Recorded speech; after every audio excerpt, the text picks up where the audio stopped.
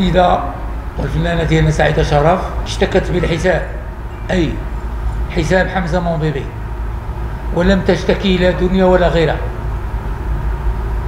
وقالت بالحرف إذا ثبت على أنني اشتكيت شي واحد وتبرأ أنا مستعد أن أعتذر له.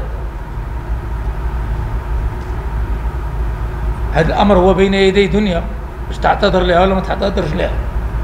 ولكن ما يهمني هو النكران والتنكر أن هي من حركت الشكاية ضد دنيا.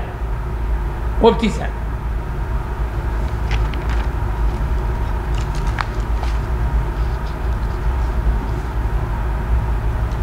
بعدما حركت شكايتها تقدمت أمام الفرقة الوطنية. واستمع إليها أمام الفرقة الوطنية. يوم 6 أغسطس 2019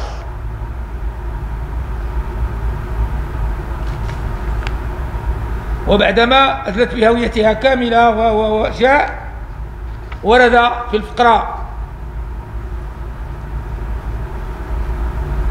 الأولى من الصفحة الثانية من محضر سماعها ما يلي.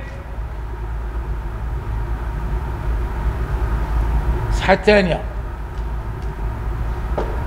معايا؟ فوالا. عندكم وأفيدكم أن مجموعة من الأشخاص يقفون وراءه. وراء حساب حمزة موبيل ما تم نشره ضدي. تتكلم على نفسها. بحساب حمزة موبيبي على تطبيق إنستغرام. اسمعوا لي مزيانا وأخص بالذكر كل من دنيا باطمة والمسمى بالبشير.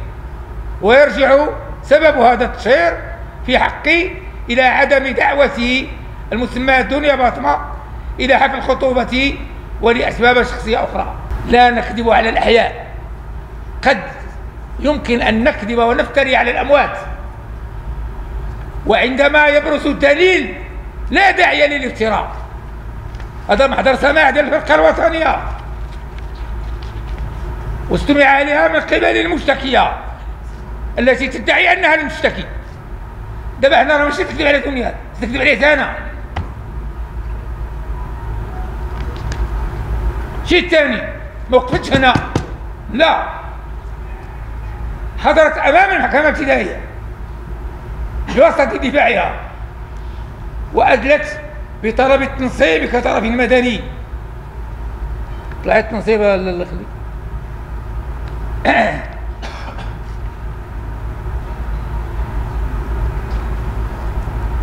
هو سعيدة شرف. دنيا باطمة ابتسام باطمة هذه مذكرة المطالب المدنية.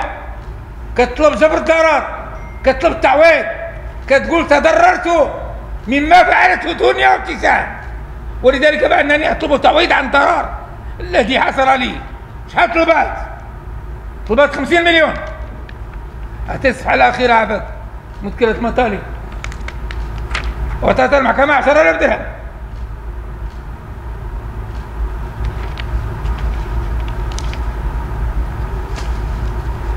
كيجمع أكثر الناس فيه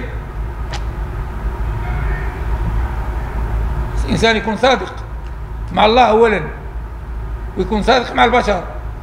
والحاجة اللي هي تبتبي حجاج عيب وعار أننا نكرهها.